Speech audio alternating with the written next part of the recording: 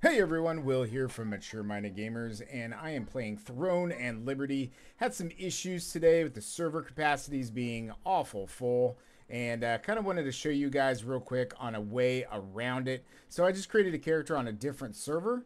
I went and I got all the way to Kastleton, and uh, I'm here running around, and I want to be able to play with my buddy Logic. And uh, so I went into the shop, scroll down to the server transfer ticket. I already bought in two of them. They are free. They do cost zero lucent um, until I think middle of October, I believe it is. But all you have to do is purchase one of those. It goes into your inventory. You come up here to where it says change servers.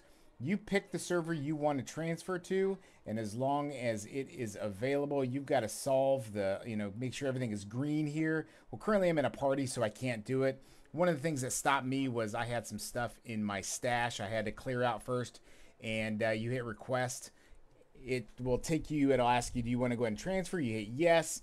You have to go to the login screen. And it took maybe 10 whole seconds for it to, uh, to finalize and uh, I clicked launch, and uh, here I was loading into the server, Amos. So, um, yeah, pretty awesome. So if you're having the same problems, make sure you uh, you do the same, and you will be playing with your buddies in your party in no time.